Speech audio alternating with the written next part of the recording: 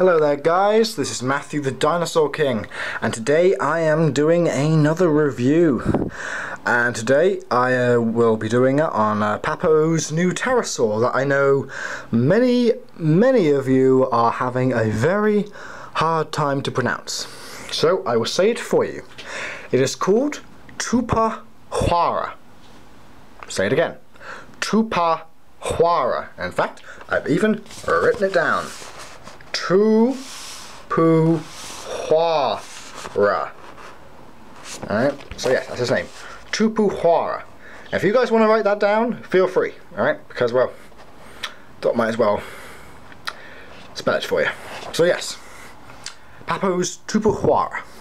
Now, Tupuxuara which name means familiar spirit, is a genus of Thalassodromidae pterosaur that lived 112 to 108 million years ago in the early Cretaceous of Brazil. Now, it had a 5.5 meter wingspan and stood as tall as a man when it was on all fours. And it lived alongside the Spinosaurid irritator, the Compsognathid Mirischia, the Coelurosaura santanaraptor, and other pterosaurs, including Cearadactylus, Anhanguera, Tapejara, among quite a few others. So, get on to the model itself. Now, as Papo models go, this is one of the smallest.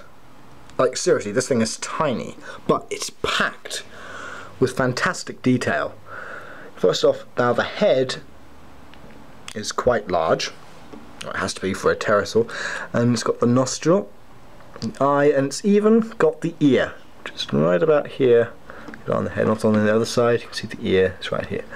And the head, well, it's got this very, very large crest. It would have obviously been brightly coloured in the males. Here it's not really brightly coloured. Uh, uh, as Papo models go, you know that they don't normally use bright colours. They use quite dull don't really know, but that's just their brand. But yeah, in the male Tupuxuara, their crest would have been very, very brightly coloured, maybe like reds, oranges, yellows, blues, to attract the opposite sex. Then going down the body, you can see it's got all this amazing detail. It's sort of in like a running pose, with one arm stretched to the right, while the other one is on the left. It's got the back feet. It has got the correct number of digits. It's got three claws on the wings, and it's got four on the back is correct.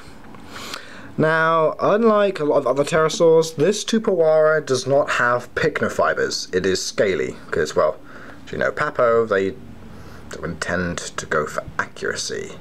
Well, I mean, it's sort of accurate. Well, I'll say it's one of their most accurate, but yeah, there's no pycnofibers. Which is a shame, actually, because if they did add them, it would have been one of their best models. It still is one of their best, but, you know, I would just would have added pycnofibers. See with the head, got the tongue, toothless beak. As these types of pterosaurs, many of them would have been toothless. So yeah, and then you've got like some sort of like stripes along the arms, spots as well. And as for pterosaurs go, it's one of a species you don't normally see, which I applaud, as you know, we need more obscure species made for models. It's also quite nice. Now, I am going to compare it, not with the Papo model, but to see how big it compares with its pterosaur brethren. Here is CollectA's Quetzalcoatlus with prey from last year. And as you can see, yes, Quetzalcoatlus towers over his friend. Now, this is not like an accurate scale comparison. And remember, Quetzalcoatlus was as tall as a giraffe. This guy was as tall as a person. So yeah, this is this guy is a very big pterosaur. But yeah, this is basically how it compares to the models. Which one is better? Well, I'll let you be the judge of that. But yeah, it's a really, really nice little model. It's packed with loads of detail. And yeah, it's also nice to have it in, you know, not a flying pose, but actually in a quadruple pose, which probably many pterosaurs spent most of their time on the ground. But, of course, they have to go and find food and have, like, fish and whatever else they can find. With Tupuxuara, it was probably a fish eater. Although, with the hard, the toothless beak, but who knows, maybe it could have also feasted on a few other little morsels from time to time. But yeah, that is my review of the Papo Tupuxuara. I hope you liked this video guys. Now I know that a lot of you did like my Tyrannosaurus versus Spinosaurus video. That was requested by Lois Duran. And so yeah, so if you guys have any other sort of like requests for videos, um, please leave them in the comments below. Uh, my next review, I will start reviewing the Carnegie ones that I've got, as well as the Safari 2, which I will probably leave for last. So, um, yeah, I hope you like this video, guys. Please like, comment, subscribe, all the good stuff. And yeah, I shall see you in the next video. So please take care and have a great day.